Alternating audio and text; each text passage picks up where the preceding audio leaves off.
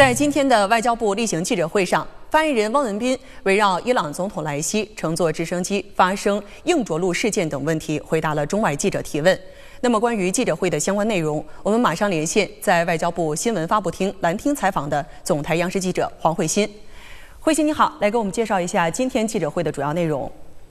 是的，主播，在今天的外交部例行记者会上，对于伊朗总统莱西和伊朗外长阿卜杜拉希扬在直升机事故中不幸遇难，发言人也是做出了回应，表达中方的深切哀悼。一起来听一下发言人刚刚的表态。习近平主席已经向伊朗第一副总统穆赫贝尔致唁电，代表中国政府和人民就莱西总统在直升机事故中遇难。表示深切哀悼，向穆赫贝尔第一副总统、莱西总统亲属以及伊朗政府和人民表示诚挚慰问。习近平主席指出，莱西总统就任以来，为维护伊朗安全稳定、促进国家发展繁荣作出重要贡献，也为巩固和发展中伊全面战略伙伴关系作出积极努力。他的不幸遇难是伊朗人民的巨大损失。也使中国人民失去了一位好朋友。中国政府和中国人民十分珍视中伊传统友谊，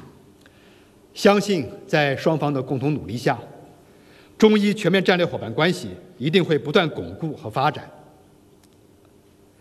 中方也对阿卜杜拉希扬外长不幸遇难深表哀悼，向阿卜杜拉希扬外长亲属表示诚挚慰问。事故发生后。中方向伊方表达了关注和关心，我们愿继续向伊方提供一切必要支持和协助。中方将继续支持伊朗政府和人民维护独立、稳定和发展，愿同伊方一道进一步深化中伊全面战略伙伴关系。